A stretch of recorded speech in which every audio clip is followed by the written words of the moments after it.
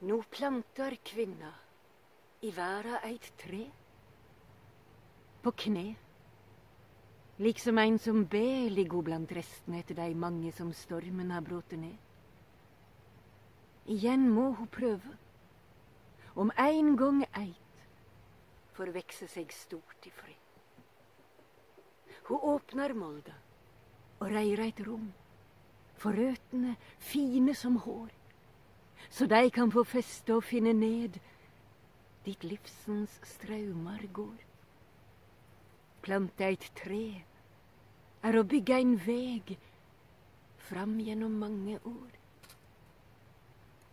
Ein draum om det fullvaksne tre står som ein kvelvingbjart av blomar og lauv over kvinna som, som klapper så fast og vart, mold inntil røter, og vonfull tel kvar knupp som skal breste snart.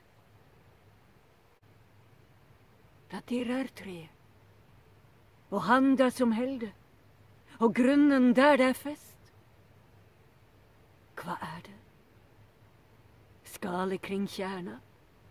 av mørkere djupet som brest.